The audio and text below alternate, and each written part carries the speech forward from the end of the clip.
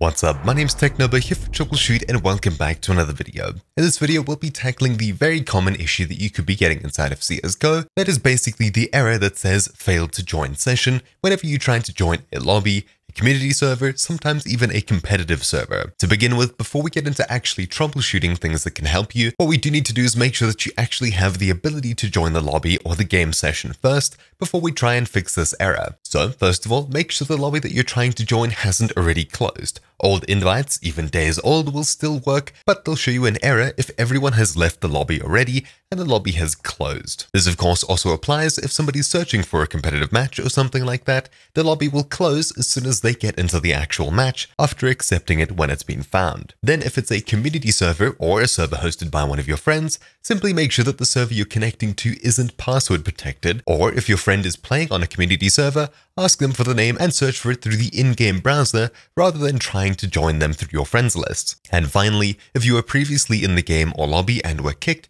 you may receive this error instead of the error message saying you were banned from the server temporarily, which can be a bit confusing. Basically, when you get kicked from a community game or something like that, you'll be banned until the map changes. And of course, if you should be able to join the lobby or server, what else can we try? Well, first of all, I'll be going through a fix that I use, often for the VAC files error, but of course it can help here too.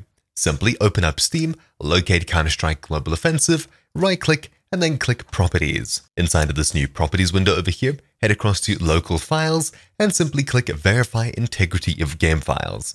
Wait for the process to complete, and when you're able to launch the game again, don't. Simply click Steam in the top left, and then click Exit. After doing this, open up Task Manager with Control Shift and Escape, and on this list over here, simply click anywhere and type in STEA. What we're looking for is Steam, Steam Client, etc, etc, and if you find any Steam processes open, select it, then either hit Delete or the End Task button down here and close all of the running Steam processes. Often processes that are left running in the background after you close Steam can cause issues.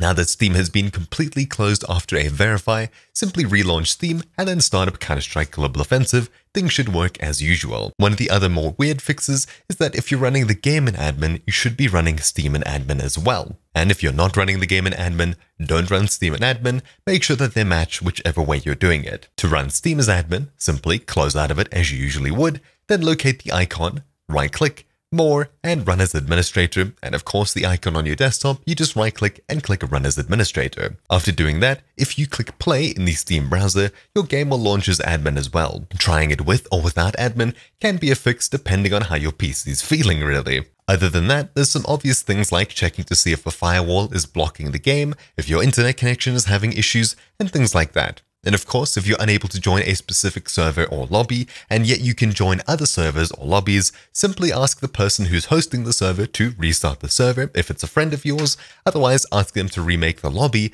if they can do that. This is of course assuming that Windows is up to date, the game's up to date, and you've restarted your PC and or router on top of that as a troubleshooting step. That's usually general practice, so if you haven't tried this and you're out of ideas, there's something for you to do update Windows, update your GPU drivers, restart your PC, try to join, and restart your router, then try to join. But anyways, that's about it for this video. Thank you for watching, my name's been TechNobo here for TroubleChute, and I'll see you all next time.